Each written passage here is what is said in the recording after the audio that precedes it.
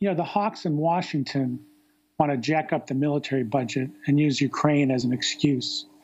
But if you look at the budget, and Biden's going to propose, according to press accounts, a military budget of over $800 billion on Monday.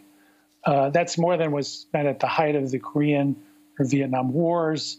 It's $100 billion more than what was spent at the height of the Cold War under Ronald Reagan.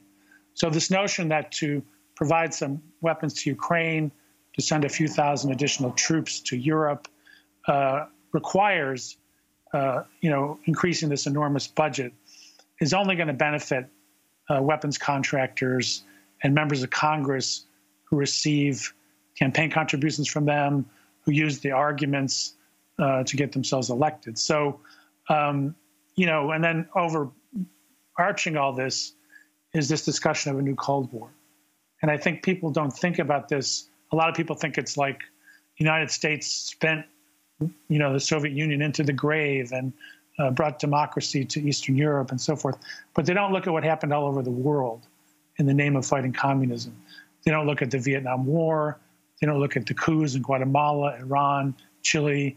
They don't look at arming of the so-called freedom fighters by Ronald Reagan, including the Afghan Mujahideen, uh, some of whom went on to help form Al Qaeda, uh, including the Contras in Nicaragua, who committed unspeakable crimes, including the overthrow of the Allende elected government in Chile when Henry Kissinger said, you can't let a country go communist because of the irresponsibility of its own people, acknowledging that they were overthrowing a democratic government.